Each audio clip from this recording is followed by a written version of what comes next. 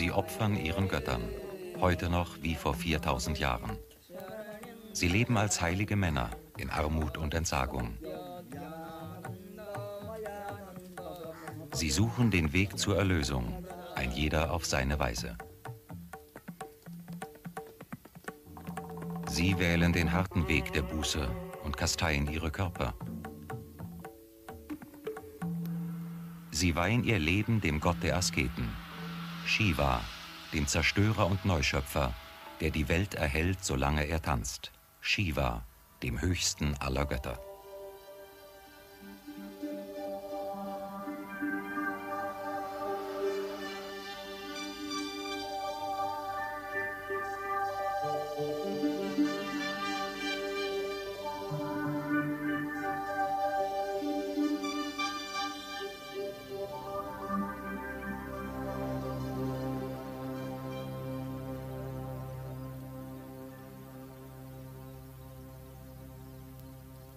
Inder Natrajan unterwegs auf Pilgerreise. Er ist ein Sadhu, ein heiliger Wanderasket. So wie er ziehen Tausende durch Indien, von Norden nach Süden, von Osten nach Westen, zu den heiligen Plätzen und Tempeln. Sie folgen den Gesetzen des Hinduismus. Dieser Glaube verlangt Armut und Entsagung vom Menschen im letzten Abschnitt seines Lebens. Im Tempel kommen die Gläubigen ihrem Gott nahe, hier sind sie aufgehoben, die Grenzen zwischen irdischem und göttlichem. Wie 200 Millionen Inder, so ist auch Sadhu Natrajan ein Anhänger des Gottes Shiva. Die meisten Gläubigen gehen mindestens einmal am Tag in den Tempel zum Beten. Die Sadhus führen ein Leben in Armut, denn außer dem, was sie am Leib tragen, besitzen sie nichts. Wer nimmt, der muss auch geben. Das ist eine Grundregel der Hindus. So empfangen sie den Segen der Gottheit und bringen dafür Früchte, Geldgeschenke und Blumen, Spenden, die auch an heilige Männer verteilt werden. Und so zeigt sich das andere Gesicht dieser Religion. In wilden rituellen Tänzen nach alter Überlieferung, in religiöser Ekstase, die für uns Europäer nur schwer zu verstehen ist.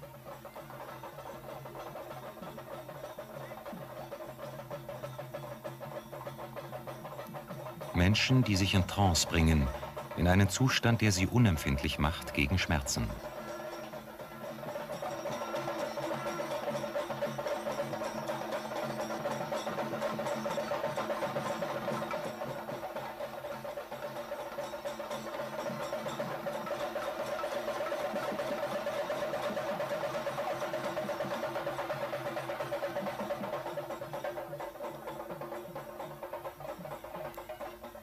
Ist das nun eine Form von Gottesdienst oder religiöser Wahn? Warum nehmen Menschen eine solche Selbstpeinigung auf sich? Warum legen die meisten Hindus ihre ganze Hoffnung nicht in dieses, sondern in ein nächstes Leben? Warum nehmen sie ihre Existenz so hin, wie sie ist und ohne zu klagen?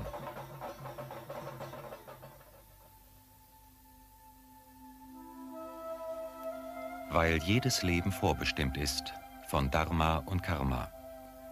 Karma ist die Frucht der eigenen Taten, denen keiner entrinnen kann. Und Dharma, das sind Rechtschaffenheit, Pflicht und Moral. Sie beeinflussen die späteren Leben, denn nach dem Tod muss die Seele so lange in anderen Körpern wiedergeboren werden, bis sie, rein und frei von allen Begierden, endlich erlöst ist. Jeder Hindu wird zudem noch hineingeboren in eine Kaste, in eine soziale Rangordnung mit strengen Regeln. Brahmanenpilger in Benares, der heiligen Stadt am Ganges. Auch für sie, die der höchsten Kaste angehören, kann das Leben nur Durchgangsstadium sein. Auch sie suchen Erlösung. Denn Erlösung ist unabhängig von der Zugehörigkeit zu einer Kaste. Sie segnen Speisen und Blumen, Gaben für den heiligen Fluss. Denn mindestens einmal im Leben soll jeder Brahmane dem Ganges ein Opfer bringen.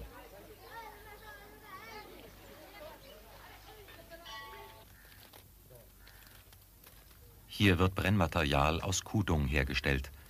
Eine Arbeit für Frauen und Kinder der unteren Kasten. Frauen können durch Heirat während dieses Lebens in eine höhere Kaste aufsteigen. Männern aber bietet nur der Tod die Chance, diese gesellschaftlichen Schranken zu überwinden. Ihnen bleibt nur die Hoffnung, wiedergeboren zu werden in ein besseres Leben. Und es bleibt der Wunsch, den Kreislauf der Wiedergeburten bald zu vollenden.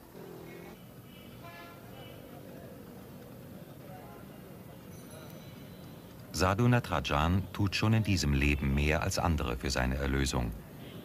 Vor 30 Jahren, nach dem Tod seiner Frau, zog er das orangefarbene Kleid der Wanderasketen an. Seitdem darf er nichts mehr besitzen, keine Wohnung haben, nur einmal am Tag essen und muss streng enthaltsam leben. Andere spenden ihm Nahrung und hier und da ein paar Münzen. So lebt er in freiwilliger Armut. Ein karges Dasein, das der ehemalige Schreiner aus der Kaste der Handwerker in seinem letzten Lebensabschnitt fristet. Das hinduistische Weltengesetz teilt jedes Leben in vier Stufen ein. In der ersten lernt der Jüngling als Schüler seines Guru. In der zweiten heiratet er, gründet eine Familie und erfüllt seine Pflichten in der Gesellschaft. Aber erst wenn die Kinder großgezogen sind und die Familie versorgt ist, erst dann darf sich der Mann ganz um seine Erlösung bemühen.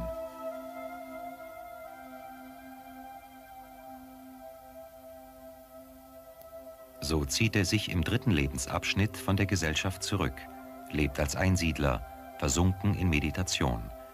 Alles, was er erworben hat, muss er zurücklassen.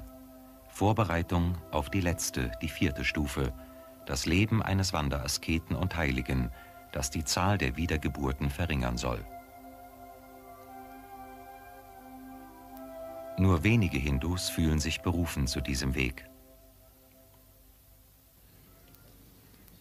Schon in jungen Jahren kann man sich darauf vorbereiten. Jeder muss lernen, zuerst seinen Körper zu beherrschen.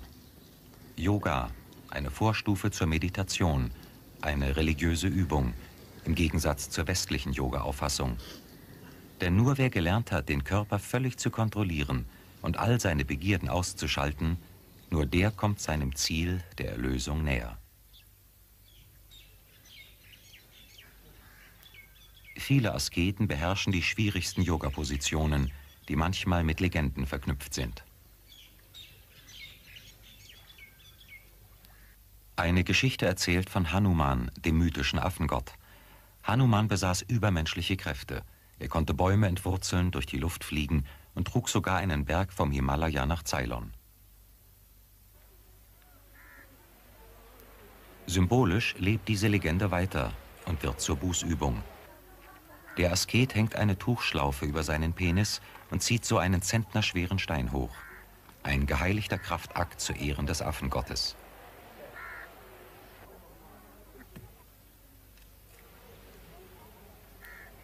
Heilige Männer, die sich nur der Meditation hingeben, lehnen solche Übungen ab, weil der Mensch, so sagen sie, auf diese Weise nie über seinen Körper hinauswächst.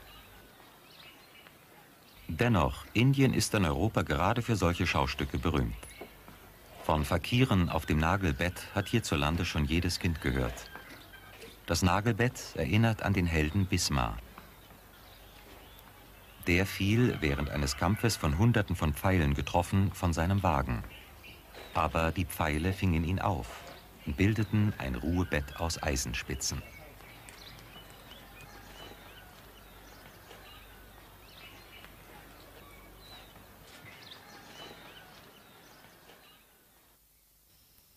Dieser Asket betet am Grab seines Guru. Er hat ein Gelübde abgelegt. Er will sein Leben so lange im Stehen verbringen, bis ihm sein verstorbener Lehrer im Traum befiehlt, diese Übung zu beenden. Darauf wartet er jetzt schon über vier Jahre.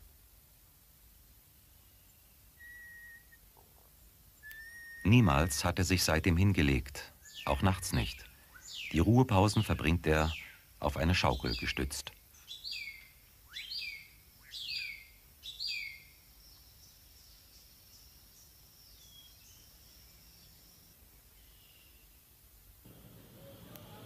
Mitten in der Metropole Neu-Delhi entdecken wir noch einen zweiten Steher. Wie er uns erzählt, hält er das schon 13 Jahre so aus. Wie lange noch, er weiß es nicht.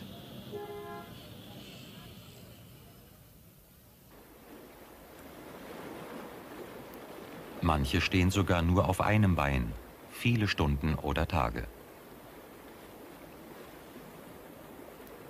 Unbeweglich wie ein Baum zu verharren, in dessen Zweigen die Vögel nisten. So schreiben alte Bücher diese Übung vor.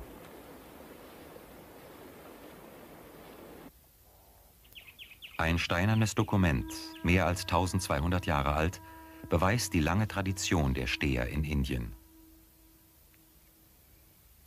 Es zeigt aber auch, dass Asketen nicht immer ganz ernst genommen werden, denn hier äfft ein Kater den Menschen nach. Sogar die Mäuse halten ihn für einen Heiligen.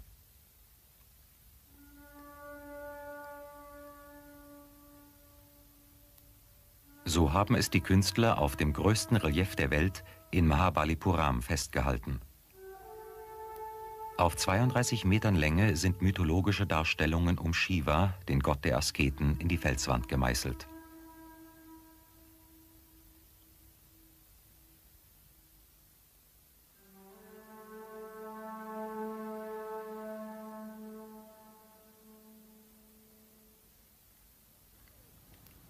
Der Weg zur Erlösung.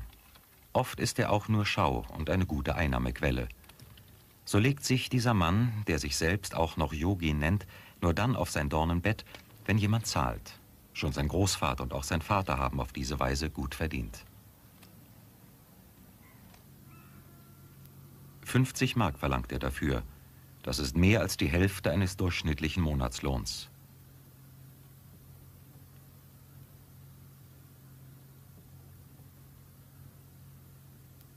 Indien, das Land mit dem Hang zur Magie, zur Zauberei, zum Okkulten, hat schon immer neben großen Heiligen mit übernatürlichen Kräften auch Scharlatane und Blender hervorgebracht. Dieser hat sich immerhin mit heiliger Asche eingerieben, um den Anschein eines echten Asketen zu erwecken. Und er hat seinen Körper so weit unter Kontrolle, dass die spitzen Dornen keine blutigen Verletzungen hinterlassen. Mustafa, der Magier, wirkt einen Stein hoch, einen echten. Er verdient sein Geld als Zauberkünstler.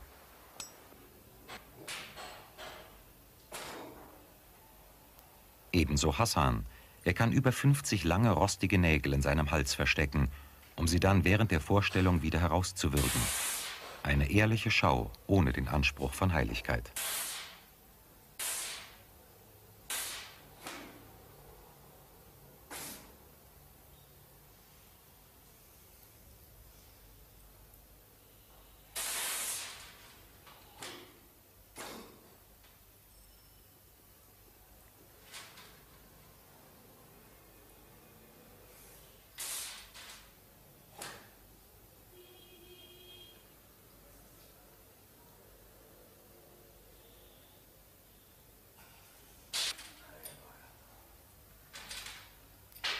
Wir wollten hinter seinen Trick kommen und fuhren mit ihm zu einem Röntgenarzt. Zum ersten Mal stellt er sich modernen Untersuchungsmethoden, Zauberkunst auf den Prüfstand. Das Röntgenbild zeigt deutlich, Hassan hat die Nägel wirklich in seinem Hals, als Bündel im Rachenraum gelagert.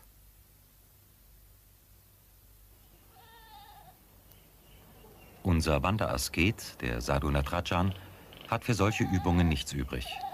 Die unterhaltsame Zeit seines Lebens liegt längst hinter ihm.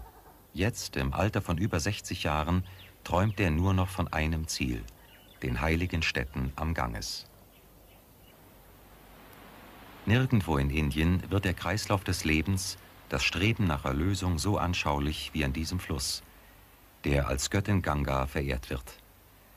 Der Legende nach ist er im Himmel entsprungen und aus Shivas Haaren auf die dürstende Erde geflossen, um Leben zu spenden und die Toten zu reinigen. In Wirklichkeit entsteht der Ganges in den Ausläufern des Himalaya. Gleich nach der Vereinigung seiner beiden Quellflüsse wird er zur Schlagader für die Gläubigen. Viele Inder kommen zum Sterben in die heilige Stadt Benares. Bittgesänge begleiten die Toten auf ihrem letzten Weg. Vor der Verbrennung ein letztes Bad im Fluss. Ein Bad, das von allen Sünden reinigt. Hier gehen die Feuer selten aus. Ein Leben hat sich vollendet. Ob die Seele in einem anderen Körper wiedergeboren werden muss oder bereits erlöst ist, darüber entscheiden die Götter.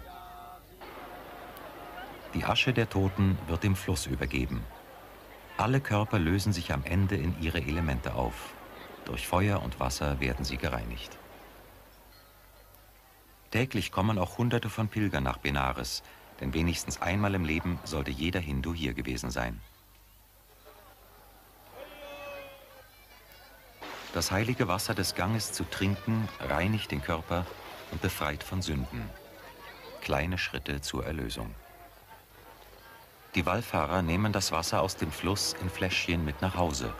Für Kranke und für jene Menschen, die nicht am Ganges sterben und verbrannt werden können.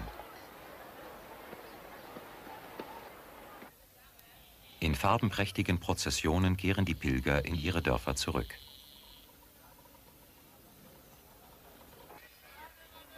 Der Ganges ist auch Mittelpunkt des Alltags. Man trifft sich an den öffentlichen Badeplätzen. Morgentoilette, dicht an dicht. Hier wird alles gereinigt. Körper, Haare und Wäsche. Dazwischen immer wieder intensive Gebete an die aufgehende Sonne und den großen Gott Shiva. Auf dem Berg Kailash im Himalaya wohnt er. Wer an ihn, den Höchsten, glaubt, überwindet den Tod. Es gibt keinen anderen Weg zur Erlösung. So verkünden die alten Schriften, ich bin der Ursprung der Welt und ihre Auflösung. Ich bin das Leben in allen Wesen und die Askese in den Asketen. Ich bin die Unsterblichkeit und der Tod. Ich bin sowohl Sein als auch Nichtsein. Gigantische Tempel hat man diesem Gott gebaut. Wer nicht nach Tibet zum Kailash pilgern konnte, für den haben Menschen vor mehr als tausend Jahren das Paradies Shivas in einem Fels verewigt, in Ellora, nordöstlich von Bombay.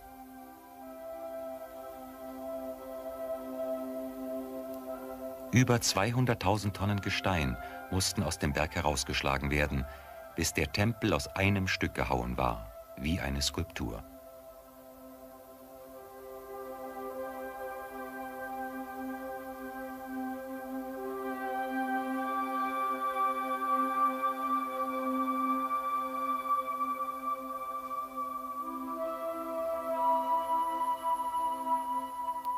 Der Dreizack, ein Symbol Shivas, das Symbol der Zerstörung.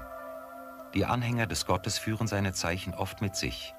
Den Dreizack kennt man am längsten. Schon um 200 vor Christus gab es Darstellungen auf Münzen und Tonmodeln. Shiva ist aber auch Musikant und Tänzer. Trommel und Muschelhorn begleiten ihn.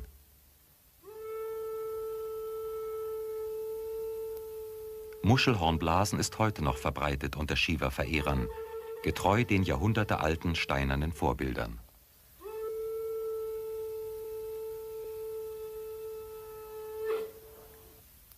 Shiva als Schöpfer der Welt. Im Lingam, dem phallischen Symbol, offenbart sich die Zeugungskraft des Gottes. Lingam und Yoni, das männliche und weibliche Geschlecht, sind die Pole der Welt. Hier schließt sich der Kreis der Schöpfung.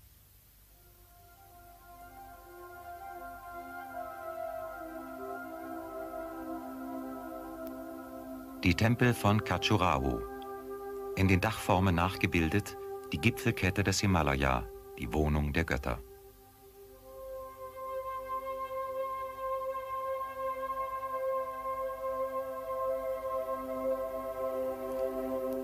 An den Tempelfassaden deftige Erotik, die göttlichen Sinnesfreuden, ein Symbol für Fruchtbarkeit und Leben auf der Erde. Aber nur wer auch lernt zu entsagen, seine körperlichen Begierden zu überwinden, kann aus der Kette der Wiedergeburten erlöst werden.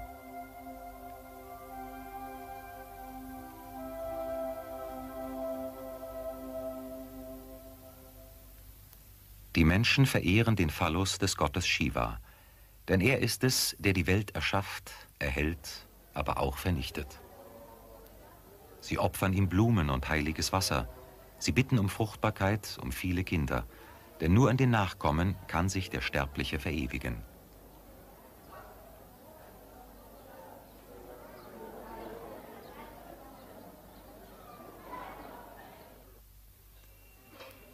Morgen Audienz in Whitefield, einem Vorort von Bangalore, bei Satya Sai Baba, dem populärsten Heiligen Indiens. Ein Scharlatan mit gut gemachten Tricks, oder menschgewordener Gott, für den viele ihn halten? Ein Erlöster auf Erden? Er selbst sieht sich als Wiedergeburt des Gottes Krishna. Mit dessen Abbild lässt er sich gern auf Postkarten darstellen, die vor seinem Ashram verkauft werden.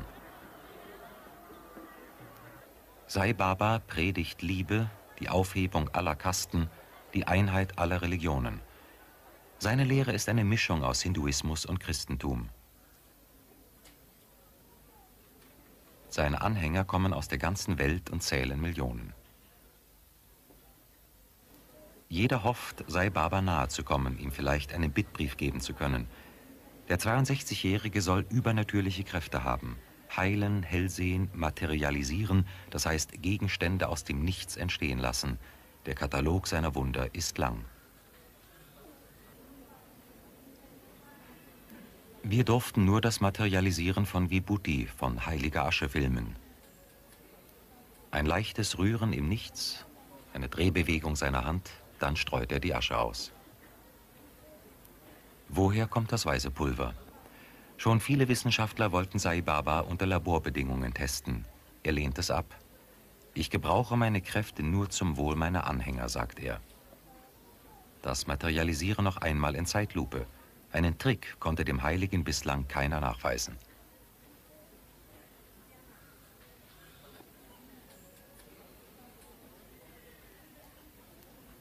Ein weiteres Aschewunder. Das Jugendporträt von Sai Baba ist fingerdick mit Vibhuti bedeckt. Angeblich vermehrt sich die Asche ständig von selbst. Wir konnten das nicht feststellen, haben aber beide Aschesorten untersuchen lassen. Um festzustellen, worum es sich bei dem grauen und dem weißen Pulver handelt, heizen wir zunächst das graue Pulver auf 900 Grad Celsius auf. Dabei bilden sich aus den kleinen Kristallen größere, die wir mit der Röntgenapparatur untersuchen können. Die untere Kurve zeigt unsere Probe und die obere Kieselsäure. Das weiße und das graue Pulver ist größtenteils kristalline Kieselsäure. Bergkristall zum Beispiel ist kristalline Kieselsäure in sehr reiner Form. Kieselsäure kommt im menschlichen Körper nur in ganz geringen Mengen vor. Die chemische Zusammensetzung dieses Pulvers entspricht der von Diatomenerde, die auf der Welt in großen Mengen vorkommt. Aus seinem Körper heraus kann Sai Baba das Pulver also nicht produziert haben. Schwer vorstellbar, dass er die Asche irgendwo versteckt hat, bevor er sie ausstreut. Manchmal lässt er Vibhuti auch aus Gefäßen rieseln, dann allerdings in Mengen, die nach den Naturgesetzen niemals in solchen Krügen Platz haben können.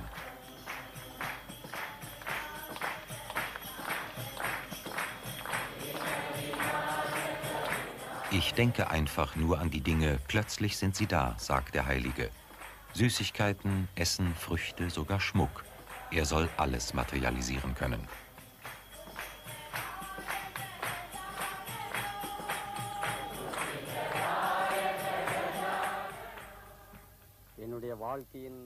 Für mich als Sanyasin, als einer, der im Stadium der Entsagung lebt, ist das alles nur Zauber. Der einzige Weg zu Gott führt ausschließlich über Meditation und Gebet. Wer Gott wirklich sucht, braucht keine Schau. Unsere größten Heiligen leben in völliger Einsamkeit. Manche haben übernatürliche Kräfte, die sie aber niemals einem anderen Menschen zeigen würden. Sie praktizieren Yoga und Meditation nur für sich und ihre Erlösung. Wir haben nach solchen Einsiedlern gesucht, überall in Indien. Es war äußerst schwierig. Diese Männer leben wirklich fernab jeder Zivilisation. Kein Außenseiter findet Zugang zu ihnen. So haben wir schließlich nur durch Zufall einen getroffen. Im Himalaya, kurz vor der Grenze zu Tibet. Barfuß steht er im Schnee und betet zur Sonne, zum Sonnengott Surya.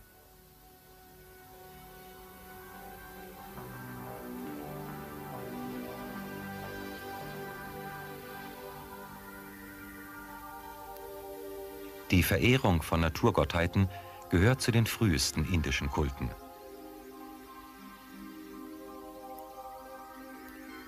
Überall hin deine Blicke richtend steigst du empor, segensreicher Sonnengott, der du alle Menschen erhältst. Mit solchen Hymnen wurde Surya schon in alter Zeit gepriesen. Einsiedler sind eine Ausnahme, auch bei den Hindus. Das Volk der Gegend feiert seine Götter im Tempel und richtet ihnen mindestens einmal jährlich ein Fest aus. Die Prozessionen dauern oft mehrere Tage. Man opfert den Göttern, auch mit außergewöhnlichen Übungen der Schmerzbeherrschung, die von Ort zu Ort verschieden sind. Dieser junge Hindu hat sich die Kokosnüsse, die er seinem Gott im Tempel darbringen will, mit Haken in die Haut gehängt. Über und über ist er mit heiliger Asche bemalt.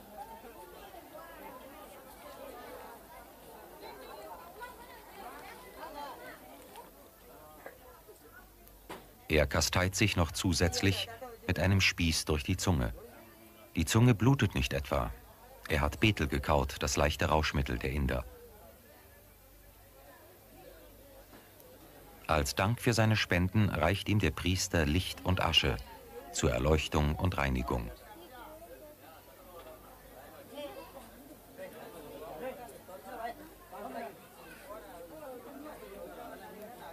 Den Spieß trägt der Hindu nur bei besonderen Festen, dann aber mehrere Tage lang, ohne Unterbrechung.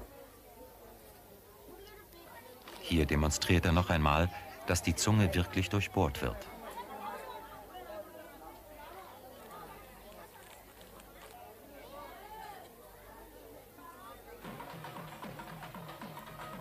Wir sind im Süden Indiens und erleben ein Massenopfer für Kali, ähnlich wie Shiva, Fruchtbarkeits- und Todesgöttin zugleich.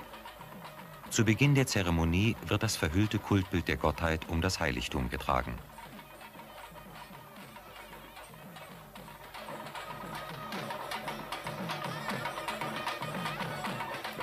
Schon Wochen vorher wurden junge Männer auserwählt als Überbringer des Dankes. In diesem Jahr sind es 66. Sieben Tage vor dem Fest erscheinen sie im Tempel, den sie bis zu dem großen Ereignis nicht mehr verlassen dürfen. Mit Yoga und streng vegetarischer Kost bereiten sie sich vor. Der Priester segnet sie.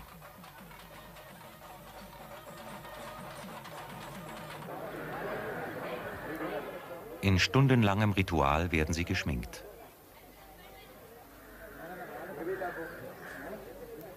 Dann reibt man sie mit einer Paste aus Sandelholz ein und schmückt sie mit Blumen.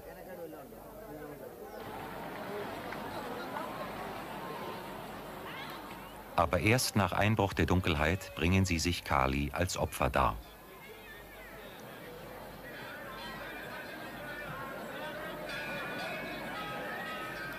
Ein Brauch, der erst in jüngster Zeit seine Schrecken verloren hat.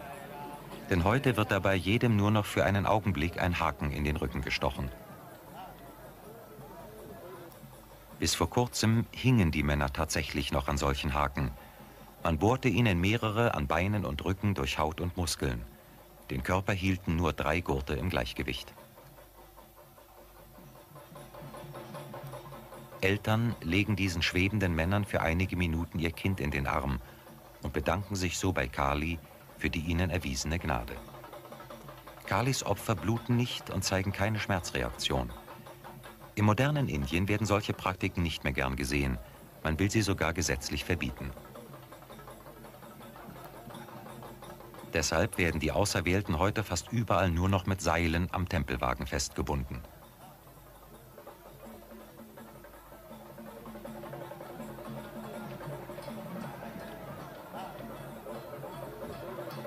Aber die Eltern legen ihnen nach wie vor ihre Kinder in den Arm. Gemeinsam zieht man sie hoch und fährt sie einmal um den Tempelbezirk. Ein Dank an Kali für den Kindersegen.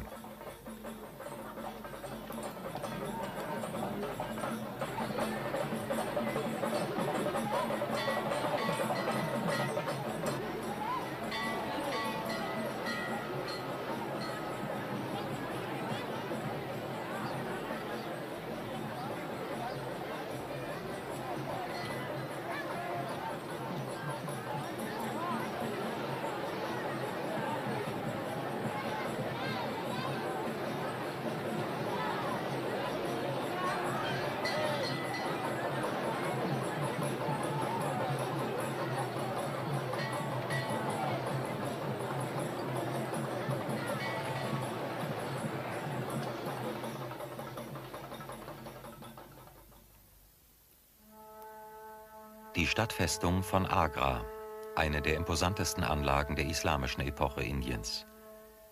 Von hier aus beherrschte im 16. Jahrhundert der Mogulkaiser Akbar das Land.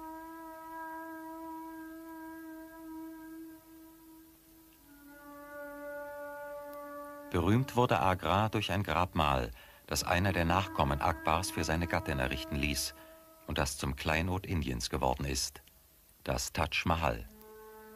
Jahrhundertelang haben einige der Mogulherrscher versucht, bei den Hindus den Islam durchzusetzen, ohne Erfolg. Vielmehr schlichen sich wesentliche Praktiken des Hinduismus in die Lehre des Propheten ein. So gibt es heute in Indien auch islamische Fakire, die Sufis. Sie setzen die Tradition ihrer frühen Missionsorden, der Derwische, fort. Ihre Übungen führen sie nur an bestimmten Feiertagen und nach wochenlangem Fasten aus. Viele Monate mussten wir verhandeln, erst dann durften wir ihre heilige Zeremonie filmen an einem ganz bestimmten Tag, den ihr Meister festgelegt hatte. Sie sahen das als religiösen Akt und haben deshalb auch kein Geld dafür genommen.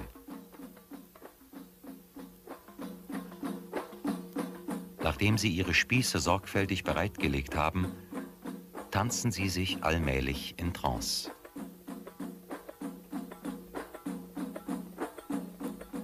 Unter der Aufsicht ihres Meisters erreichen sie einen Zustand, der sie keine Schmerzen mehr empfinden lässt.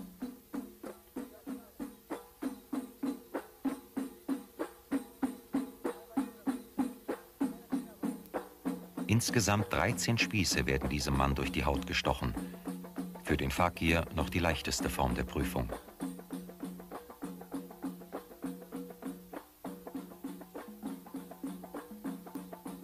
Der Rhythmus der Musik hat ihn zu höchster Konzentration getragen.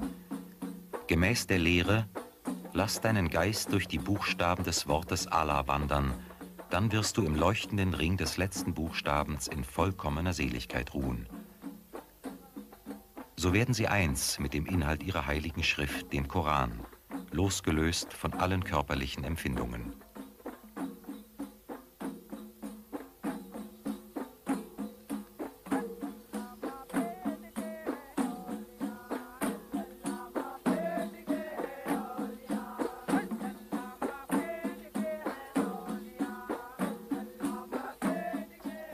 Eine halbe Stunde verharrt der Fakir in dieser Position.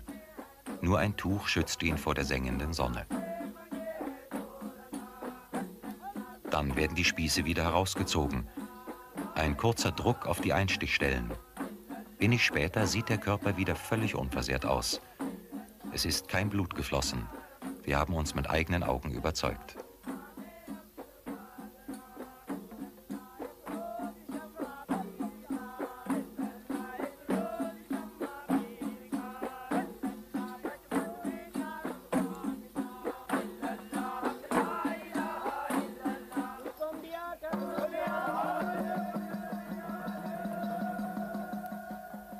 Ungeheuer stark müssen Kraft, Konzentration und Glaube eines Menschen sein, etwas zu vollbringen, das allen medizinischen Erkenntnissen widerspricht. Nur ein fortgeschrittener Fakir kommt zu einer solchen Leistung.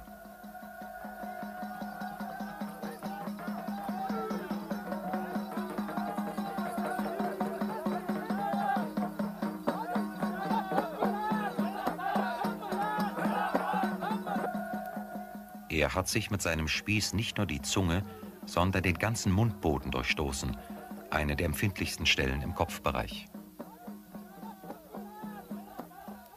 Umso erstaunlicher, dass auch hier kein Blut fließt. Denn gerade der Mundboden müsste nach Aussagen von Ärzten beim Durchstoßen extrem stark bluten.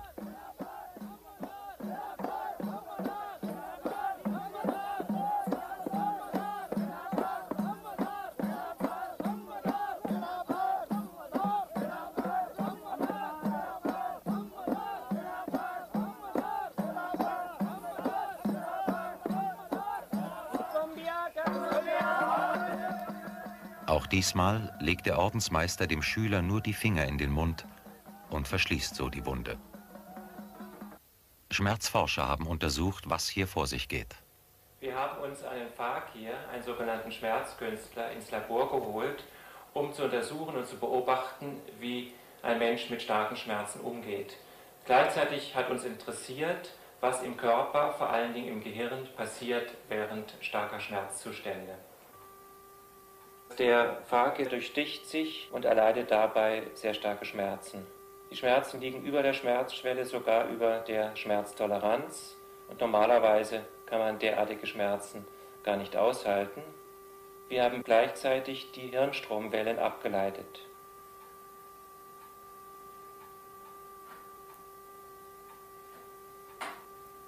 Diese Hirnstromwellen weisen darauf hin, dass sich dieser Fakir ganz kurzfristig nur zum Augenblick der Schmerzkontrolle in einen Trancezustand versetzen kann. Ein typisches Hirnstrombild von dem Fakir, das kann man so sehen, dass während der starken Schmerzen ein Teil im Gehirn sich in einem Schlafzustand befindet und andere Teile sehr wach sind. Mit diesem schlafenden Gehirn kann der Fakir gut seine Schmerzen bewältigen. Schmerzbewältigung in höchster Perfektion. Zunächst sieht es so aus, als würde der Ordensmeister nur dem Beispiel seines Schülers folgen und sich die Zunge durchstechen. Aber warum hat man ihm dann einen Schal umgelegt und hält ihn damit fest? Das, was er jetzt macht, hat uns völlig überrascht. Der Meister schneidet sich ein Stück der Zunge ab und setzt es kurz darauf wieder an.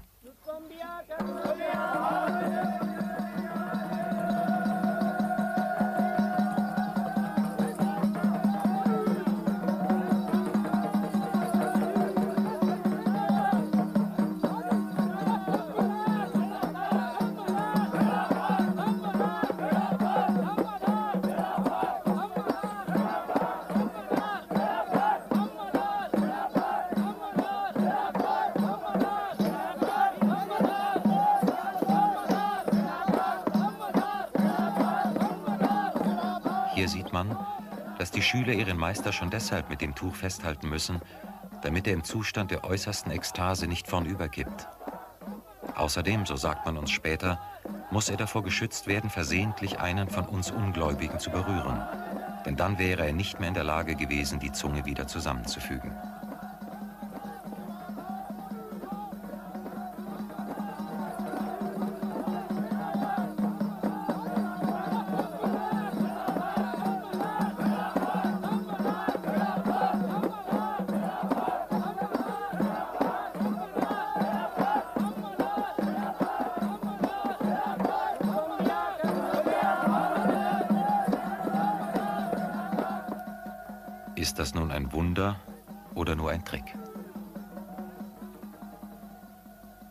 Zeitlupe zeigt noch einmal deutlich vier wichtige Dinge.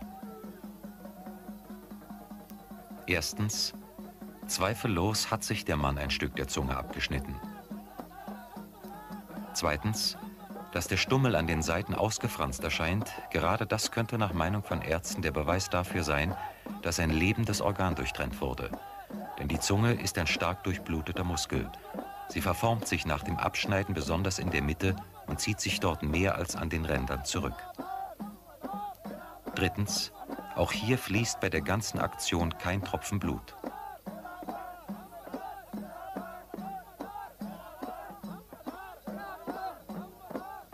Und viertens, man sieht ebenso zweifellos, die Zunge ist wieder angefügt und voll beweglich.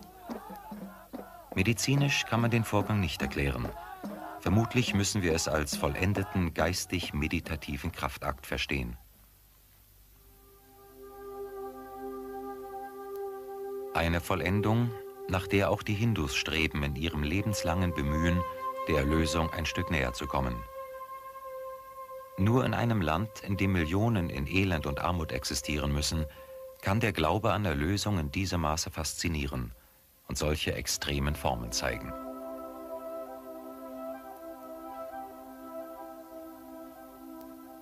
Wer es trotz aller Bemühungen nicht schafft, darf wenigstens auf ein besseres Los im nächsten Leben hoffen. Dann muss er so lange wiedergeboren werden, bis sich die Einzelseele vereint mit der Allseele, so wie sich ein Wassertropfen auflöst im See.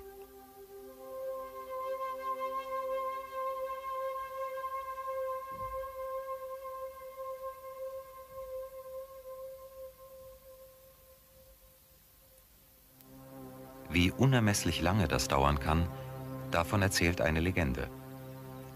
Einem heiligen Mann, der schon jahrzehntelang in strenger Askese und Meditation zugebracht hatte, erschien Narada, der Seher der Götter.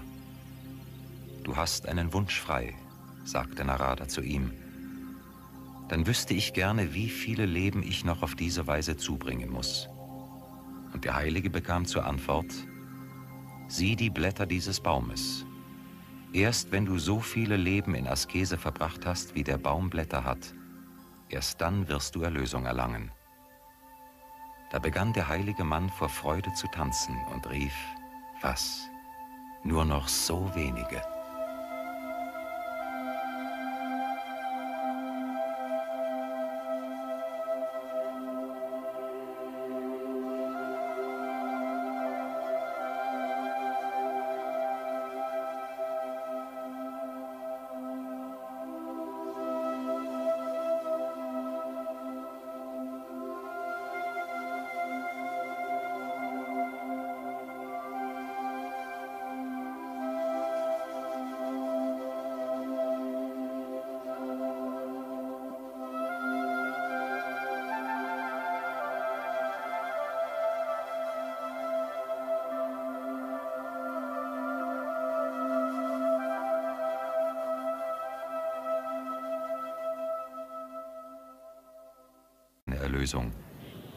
Vor 30 Jahren, nach dem Tod seiner Frau, zog er das orangefarbene Kleid der Wanderasketen an. Seitdem darf er nichts mehr besitzen, keine Wohnung haben, nur einmal am Tag essen und muss streng enthaltsam leben. Andere spenden ihm Nahrung und hier und da ein paar Münzen. So lebt er in freiwilliger Armut. Ein karges Dasein, das der ehemalige Schreiner aus der Kaste der Handwerker in seinem letzten Lebensabschnitt fristet. Das hinduistische Weltengesetz teilt jedes Leben in vier Stufen ein. In der ersten lernt der Jüngling als Schüler seines Guru. In der zweiten heiratet er, gründet eine Familie und erfüllt seine Pflichten in der Gesellschaft. Aber erst wenn die Kinder großgezogen sind und die Familie versorgt ist, erst dann darf sich der Mann ganz um seine Erlösung bemühen.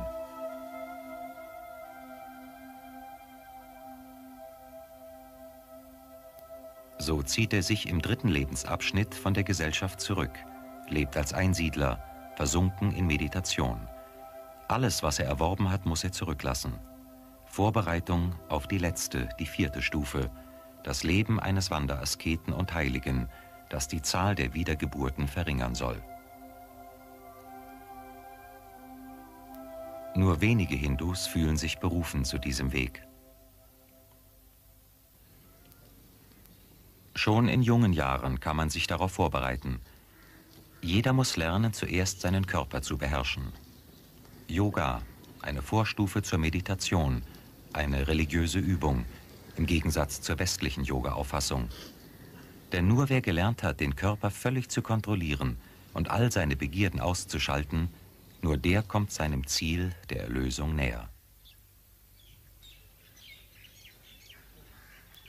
Viele Asketen beherrschen die schwierigsten Yoga-Positionen, die manchmal mit Legenden verknüpft sind. Eine Geschichte erzählt von Hanuman, dem mythischen Affengott. Hanuman besaß übermenschliche Kräfte. Er konnte Bäume entwurzeln, durch die Luft fliegen und trug sogar einen Berg vom Himalaya nach Ceylon. Symbolisch lebt diese Legende weiter und wird zur Bußübung. Der Asket hängt eine Tuchschlaufe über seinen Penis und zieht so einen zentnerschweren Stein hoch. Ein geheiligter Kraftakt zu Ehren des Affengottes.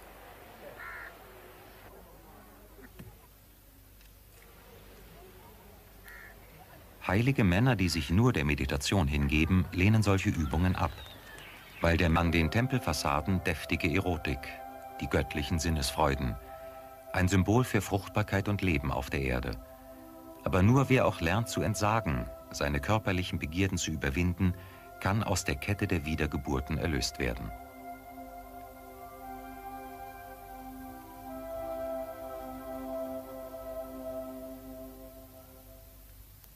Die Menschen verehren den Phallus des Gottes Shiva, denn er ist es, der die Welt erschafft, erhält, aber auch vernichtet. Sie opfern ihm Blumen und heiliges Wasser. Sie bitten um Fruchtbarkeit, um viele Kinder, denn nur an den Nachkommen kann sich der Sterbliche verewigen.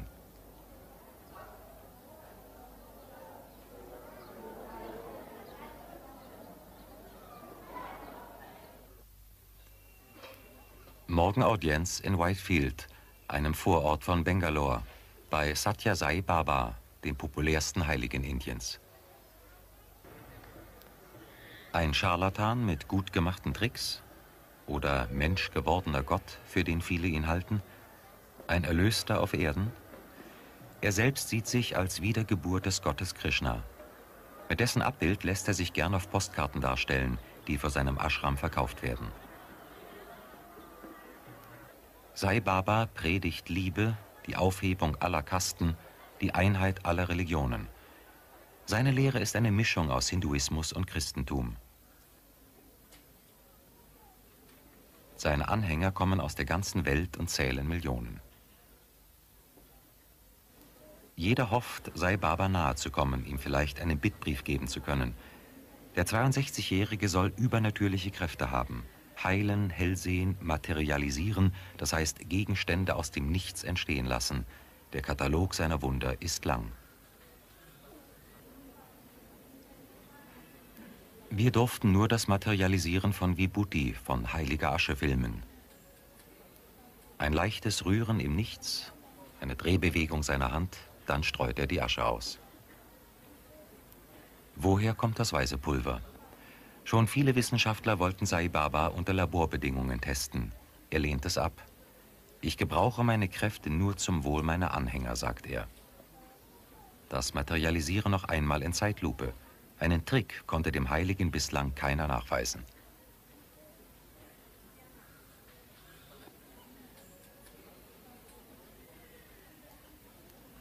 Ein weiteres Aschewunder. Das Jugendporträt von Sai Baba ist fingerdick mit Vibhuti bedeckt. Angeblich vermehrt sich die Asche ständig von selbst. Wir konnten das nicht feststellen, haben aber beide Aschesorten untersuchen lassen. Um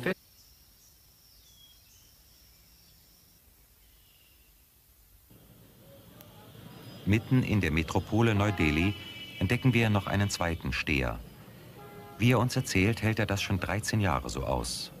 Wie lange noch, er weiß es nicht.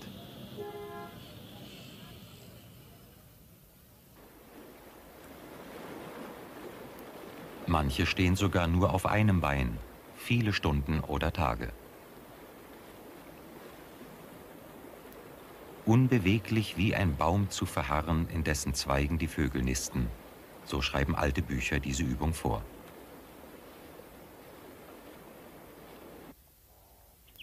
Ein steinernes Dokument, mehr als 1200 Jahre alt, beweist die lange Tradition der Steher in Indien.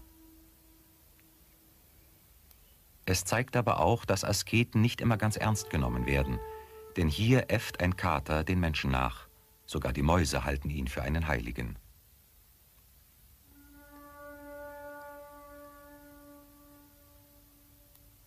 So haben es die Künstler auf dem größten Relief der Welt in Mahabalipuram festgehalten. Auf 32 Metern Länge sind mythologische Darstellungen um Shiva, den Gott der Asketen, in die Felswand gemeißelt.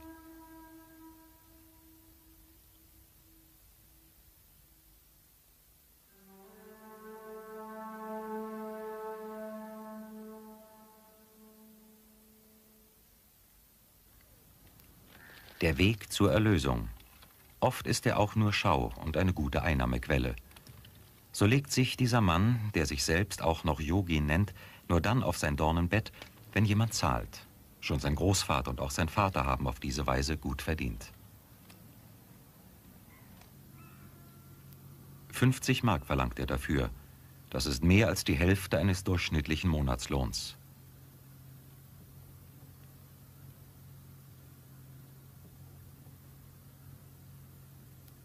Indien, das Land mit dem Hang zur Magie, zur Zauberei, zum Okkulten, hat schon immer neben großen Heiligen mit übernatürlichen Kräften auch Scharlatane und Blender hervorgebracht.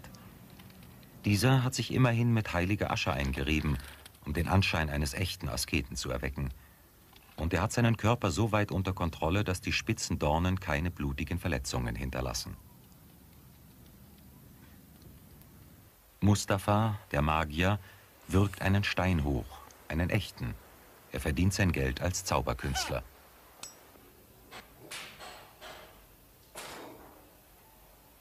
Ebenso Hassan. Er kann über 50 lange rostige Nägel in seinem Hals verstecken, um sie dann während der Vorstellung wieder herauszu.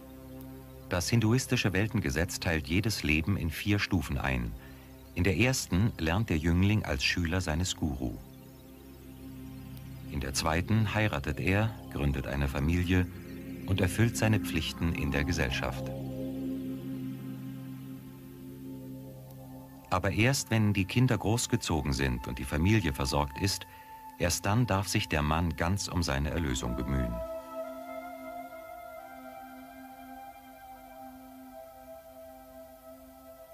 So zieht er sich im dritten Lebensabschnitt von der Gesellschaft zurück, lebt als Einsiedler, versunken in Meditation. Alles, was er erworben hat, muss er zurücklassen. Vorbereitung auf die letzte, die vierte Stufe, das Leben eines Wanderasketen und Heiligen, das die Zahl der Wiedergeburten verringern soll. Nur wenige Hindus fühlen sich berufen zu diesem Weg. Schon in jungen Jahren kann man sich darauf vorbereiten – jeder muss lernen, zuerst seinen Körper zu beherrschen. Yoga, eine Vorstufe zur Meditation, eine religiöse Übung, im Gegensatz zur westlichen Yoga-Auffassung. Denn nur wer gelernt hat, den Körper völlig zu kontrollieren und all seine Begierden auszuschalten, nur der kommt seinem Ziel der Erlösung näher.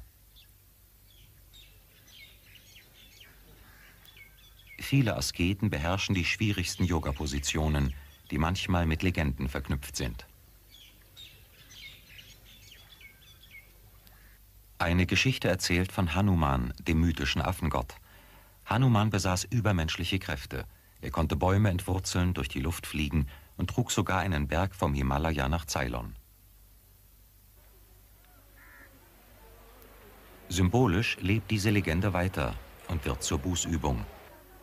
Der Asket hängt eine Tuchschlaufe über seinen Penis und zieht so einen zentnerschweren Stein hoch. Ein geheiligter Kraftakt zu Ehren des Affengottes.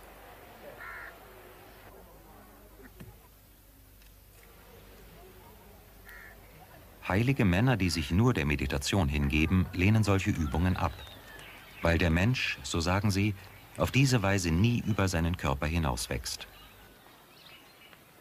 Dennoch, Indien ist in Europa gerade für solche Schaustücke berühmt. Von Fakiren auf dem Nagelbett hat hierzulande schon jedes Kind gehört. Das Nagelbett erinnert an den Helden Bismar. Der fiel während eines Kampfes von Hunderten von Pfeilen getroffen von seinem Wagen. Aber die Pfeile fingen ihn auf und bildeten ein Ruhebett aus Eisenspitzen.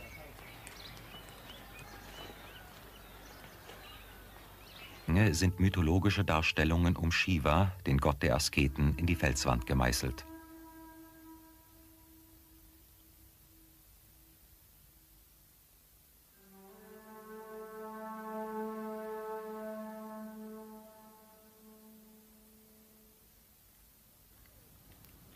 Der Weg zur Erlösung. Oft ist er auch nur Schau und eine gute Einnahmequelle. So legt sich dieser Mann, der sich selbst auch noch Yogi nennt, nur dann auf sein Dornenbett, wenn jemand zahlt. Schon sein Großvater und auch sein Vater haben auf diese Weise gut verdient. 50 Mark verlangt er dafür. Das ist mehr als die Hälfte eines durchschnittlichen Monatslohns.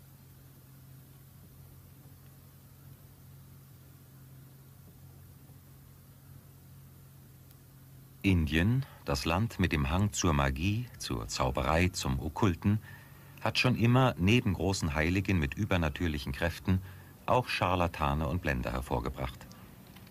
Dieser hat sich immerhin mit heiliger Asche eingerieben, um den Anschein eines echten Asketen zu erwecken. Und er hat seinen Körper so weit unter Kontrolle, dass die spitzen Dornen keine blutigen Verletzungen hinterlassen.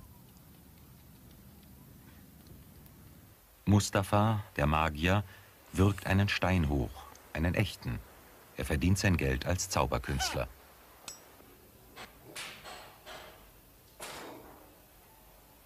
Ebenso Hassan.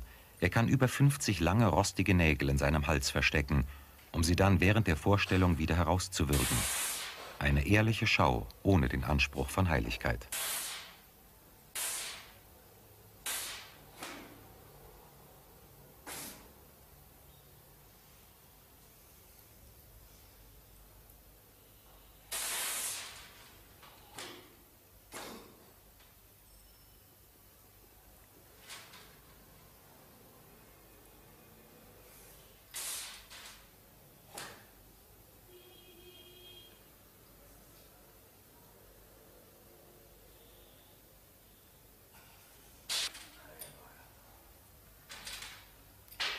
Wir wollten hinter seinen Trick kommen und fuhren mit ihm zu einem Röntgenarzt.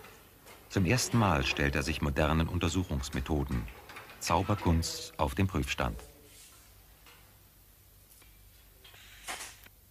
Das Röntgenbild zeigt deutlich, Hassan hat die Nägel wirklich in seinem Hals, als Bündel im Rachenraum gelagert.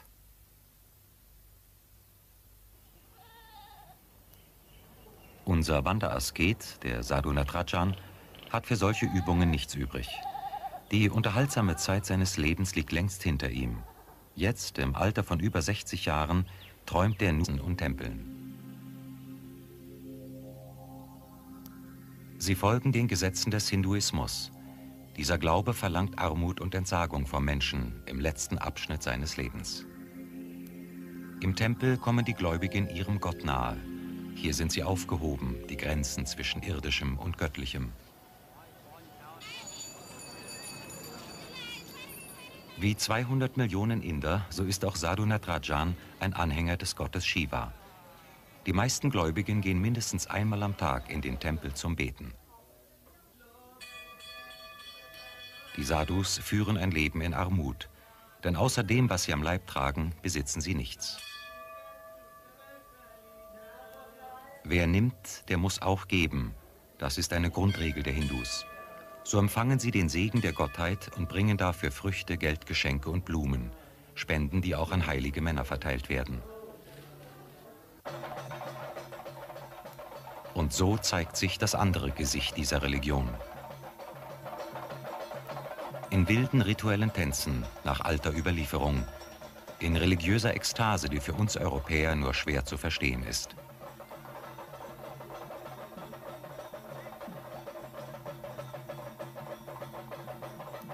Menschen, die sich in Trance bringen, in einen Zustand, der sie unempfindlich macht gegen Schmerzen.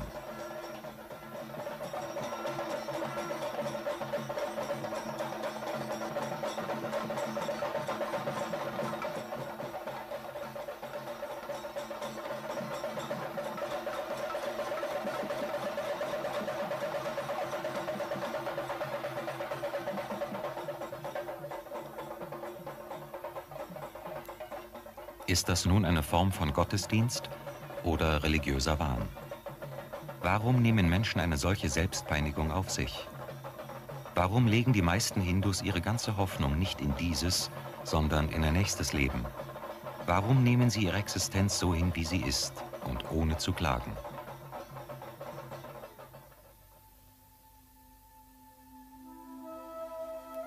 Weil jedes Leben vorbestimmt ist von Dharma und Karma. Karma ist die Frucht der eigenen Taten, denen keiner entrinnen kann. Und Dharma, das sind Rechtschaffenheit, Pflicht und Moral. Sie beeinflussen die späteren Leben, denn nach dem Tod muss die Seele so lange in anderen Körpern wiedergeboren werden, bis sie, rein und frei von allen Begierden, endlich erlöst ist. Jeder Hindu wird zudem noch hineingeboren in eine Kaste, in eine soziale Rangordnung mit strengen Regeln. Brahmanenpilger in Benares, der heiligen Stadt am Ganges. Sadhu Natrajan tut schon in diesem Leben mehr als andere für seine Erlösung.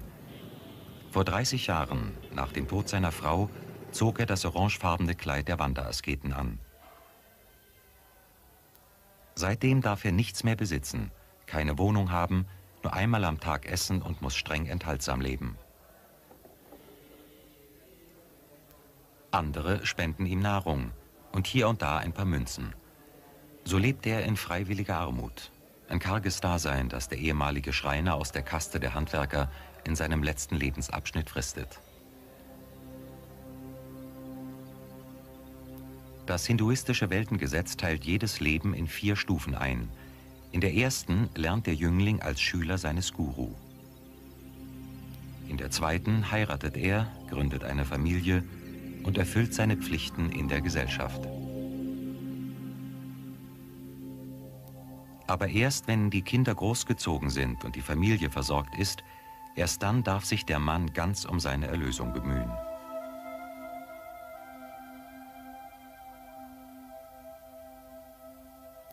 So zieht er sich im dritten Lebensabschnitt von der Gesellschaft zurück, lebt als Einsiedler, versunken in Meditation. Alles, was er erworben hat, muss er zurücklassen. Vorbereitung auf die letzte, die vierte Stufe, das Leben eines Wanderasketen und Heiligen, das die Zahl der Wiedergeburten verringern soll. Nur wenige Hindus fühlen sich berufen zu diesem Weg. Schon in jungen Jahren kann man sich darauf vorbereiten. Jeder muss lernen, zuerst seinen Körper zu beherrschen. Yoga, eine Vorstufe zur Meditation, eine religiöse Übung, im Gegensatz zur westlichen Yoga-Auffassung. Denn nur wer gelernt hat, den Körper völlig zu kontrollieren und all seine Begierden auszuschalten, nur der kommt seinem Ziel der Erlösung näher. Viele Asketen beherrschen die schwierigsten Yoga-Positionen, die manchmal mit Legenden verknüpft sind. Eine Geschichte erzählt von Hanuman, dem mythischen Affengott. Hanuman besaß übermenschliche Kräfte. Er konnte Bäume entwurzeln, durch die Luft fliegen und trug sogar einen Berg vom Himalaya nach Ceylon.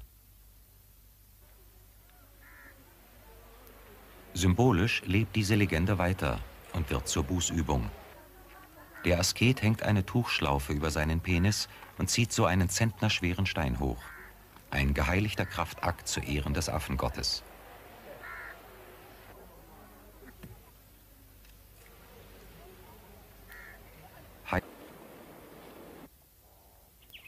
Ein steinernes Dokument, mehr als 1200 Jahre alt, beweist die lange Tradition der Steher in Indien.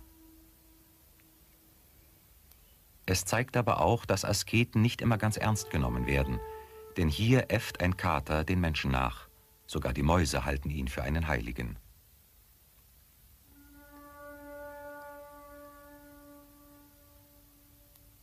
So haben es die Künstler auf dem größten Relief der Welt in Mahabalipuram festgehalten. Auf 32 Metern Länge sind mythologische Darstellungen um Shiva, den Gott der Asketen, in die Felswand gemeißelt.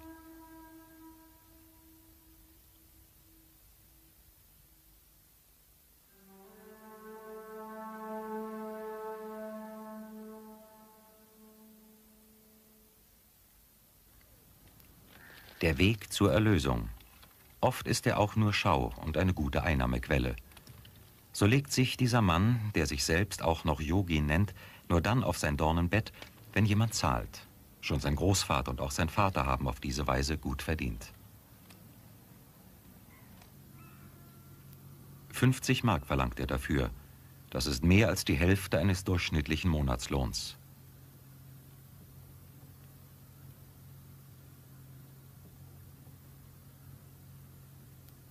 Indien, das Land mit dem Hang zur Magie, zur Zauberei, zum Okkulten, hat schon immer neben großen Heiligen mit übernatürlichen Kräften auch Scharlatane und Blender hervorgebracht.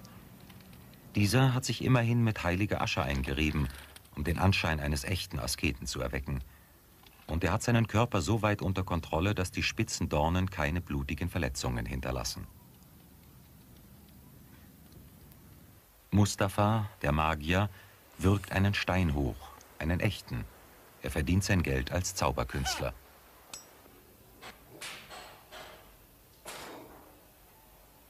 Ebenso Hassan. Er kann über 50 lange rostige Nägel in seinem Hals verstecken, um sie dann während der Vorstellung wieder herauszuwürgen. Eine ehrliche Schau ohne den Anspruch von Heiligkeit.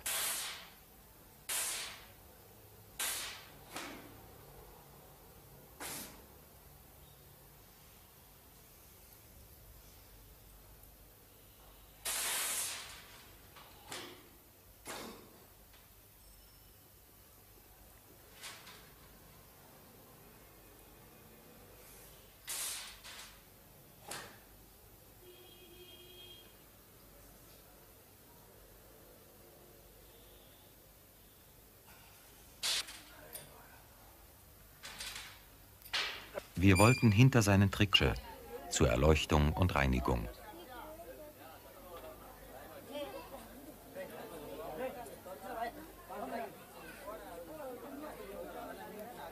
Den Spieß trägt der Hindu nur bei besonderen Festen, dann aber mehrere Tage lang, ohne Unterbrechung. Hier demonstriert er noch einmal, dass die Zunge wirklich durchbohrt wird.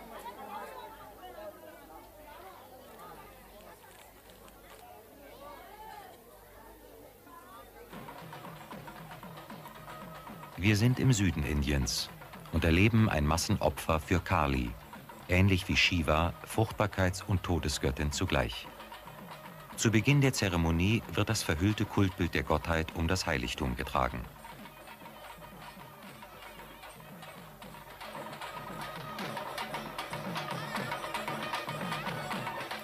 Schon Wochen vorher wurden junge Männer auserwählt als Überbringer des Dankes. In diesem Jahr sind es 66. Sieben Tage vor dem Fest erscheinen sie im Tempel den sie bis zu dem großen Ereignis nicht mehr verlassen dürfen. Mit Yoga und streng vegetarischer Kost bereiten sie sich vor. Der Priester segnet sie.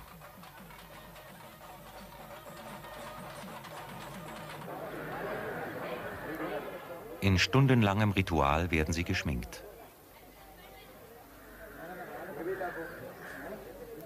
Dann reibt man sie mit einer Paste aus Sandelholz ein und schmückt sie mit Blumen.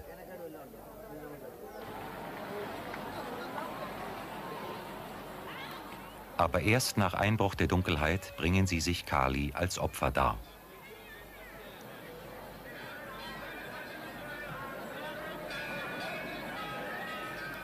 Ein Brauch, der erst in jüngster Zeit seine Schrecken verloren hat.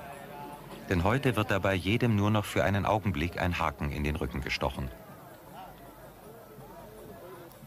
Bis vor kurzem hingen die Männer tatsächlich noch an solchen Haken, man bohrte ihnen mehrere an Beinen und Rücken durch Haut und Muskeln. Den Körper hielten nur drei Gurte im Gleichgewicht. Eltern legen diesen schwebenden Männern für einige Minuten ihr Kind in den Arm und bedanken sich so bei Kali für die ihnen erwiesene Gnade. Kalis Opfer bluten nicht und zeigen keine Schmerzreaktion. Im modernen Indien werden solche Praktiken nicht mehr gern gesehen. Man will sie sogar gesetzlich verbieten. Deshalb werden die Auserwählten heute fast überall nur noch mit Seilen am Tempelwagen festgebunden.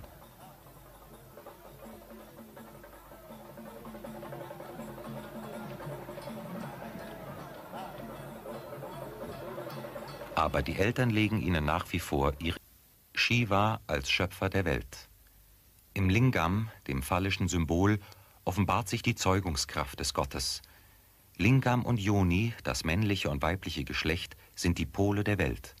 Hier schließt sich der Kreis der Schöpfung.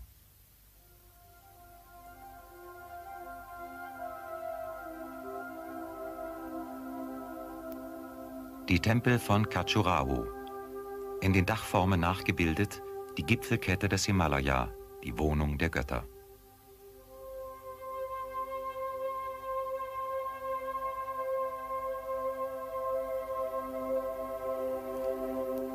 An den Tempelfassaden deftige Erotik, die göttlichen Sinnesfreuden, ein Symbol für Fruchtbarkeit und Leben auf der Erde. Aber nur wer auch lernt zu entsagen, seine körperlichen Begierden zu überwinden, kann aus der Kette der Wiedergeburten erlöst werden.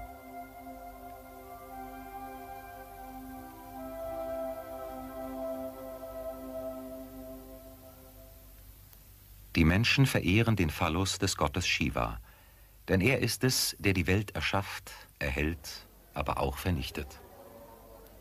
Sie opfern ihm Blumen und heiliges Wasser. Sie bitten um Fruchtbarkeit, um viele Kinder. Denn nur in den Nachkommen kann sich der Sterbliche verewigen.